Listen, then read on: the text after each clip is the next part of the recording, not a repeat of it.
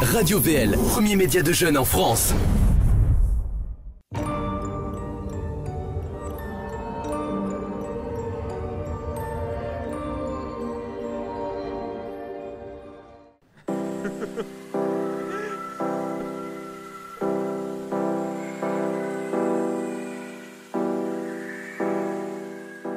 Julia, Julia Wicker. Um, you know, she's uh, she's super, super, uh, uh, you know, smart, uh, intellectual, academic, um, driven, passionate, and um, and just we get to see her evolve as a human um, and sort of be stripped of these um, these these facades that she's had on for a very long time and, and, and get to the truth of of who she really is or, or get to figure that out with her.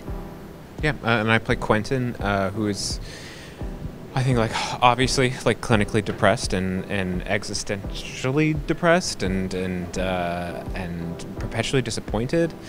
Um, and I, I, think we get to see him in this period in his life where he's really like trying to band-aid all of his problems. Uh, and I think right towards the end, we're seeing those band-aids like just like ripped off of him, and him having to cope with that and and come to terms with really kind of like who he is. I think, um, and so season two, I think will be really uh, interesting. We'll see what happens.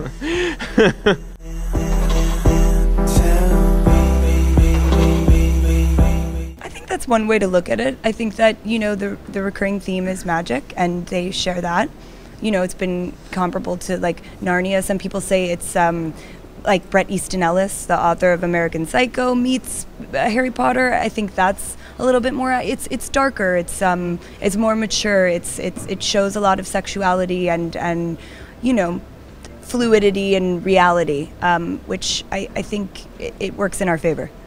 Yeah, I mean, I think we've certainly Lev Grossman, the uh, writer of the novels, has certainly been inspired by, by Harry Potter and by Narnia and, and Lord of the Rings and all of the great fantasies that we have today. And I think you see that in the books, um, and it's so much so that you we have these characters who have read, uh, you know, all of Lord of the Rings and and and and uh, are in, and probably watch The Walking Dead, you know, and are are immersed in the world of fantasy today.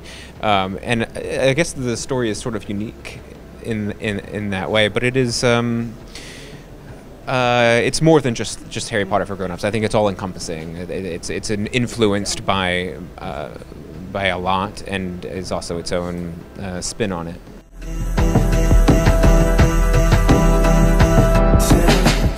Yeah, I think a lot of things in the show are sort of flipped on its head. I, I, I don't know that I would call like Julia the the bad one necessarily, but she definitely goes down a, a, a darker path.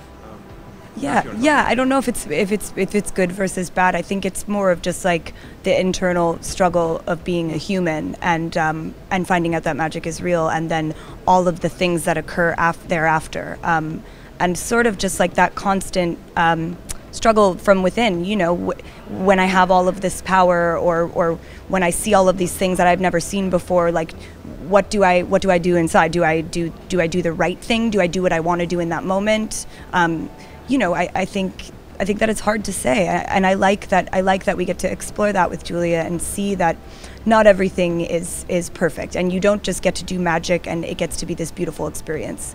It's it can actually you know, be this very hard um, and awful thing, as well as like a, a fun, beautiful thing.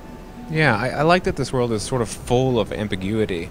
Um, there is no clearly defined good and bad. You right. know, we don't even have like a real bad guy. Like, I, I don't know if you've finished the season, but, um, well, you know, like it, it, our bad guy might not be a bad guy. Our mm-hmm. bad guy is a guy who very easily could have been Quentin.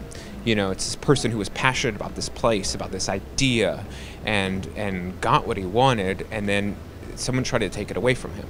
And so he's just trying to hold on to the thing that he loves, and in doing so, um, hurts other people along the way. But but uh, it, it's gray, right? Everything's gray, and that's that's what makes I think this world uh, relatable and, and, and feel so grounded in reality. Because here, we, I mean, you know, like we don't have what's good and what's bad. I mean, everyone has from from everyone's individual perspective.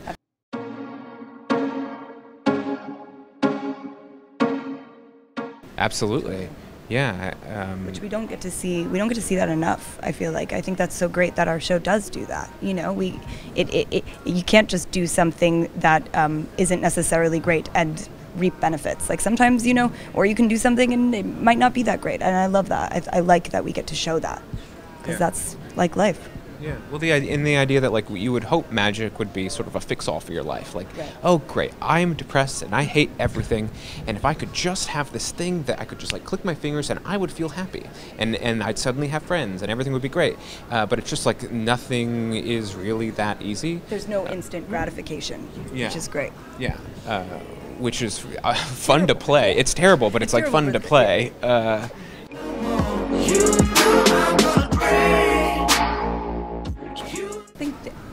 They know. I think that it's a constant ebb and flow. I think that they they're still figuring all of that out and you know, they may feel a certain way at a certain time or had felt a certain way in the past and that might shift again and when friends don't see each other for a long time or when wrongdoings have happened, it's sort of like we pick up the pieces where we left off, we make it work and I don't know what I don't know um, where that stands as of now going into season 2.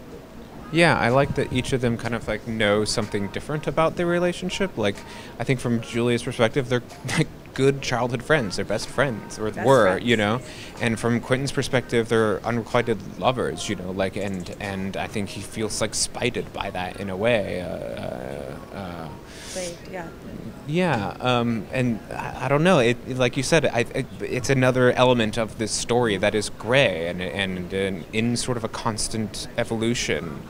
Um, we we we um, the season is structured in such a way where we we we come we open with them together and we get to see them sort of like at their best and worst uh, and then separate for a long time and go on like very separate journeys uh, all we, i think a- after the same goal ultimately um, but go about it in two very different ways and then come back together uh, having learned Too much. yeah, yeah, Yeah. like almost too much about the world and and and how their relationship shifts and change because of this new information.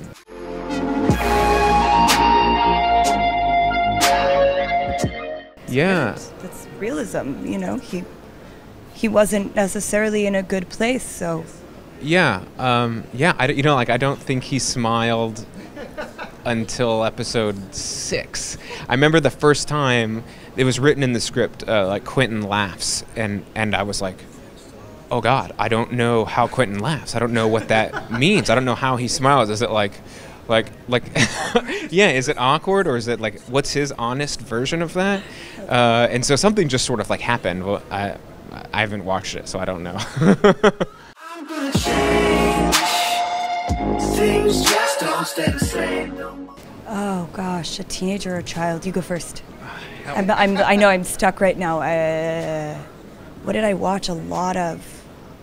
I watched a lot of, um, you know, that show on Nickelodeon, Salute Your Shorts. Oh yes, and Rocko's Modern Life and Ren and Stimpy. Yeah, Yes. yeah. Nickelodeon, was like a big cool. part of my life. And hey, dude, Hey dude. and the night. What was the campfire night? are you afraid of the dark? Yeah, Good. yeah. Actually scary, terrifying. Terrifying. I hope it holds up. I don't want to know.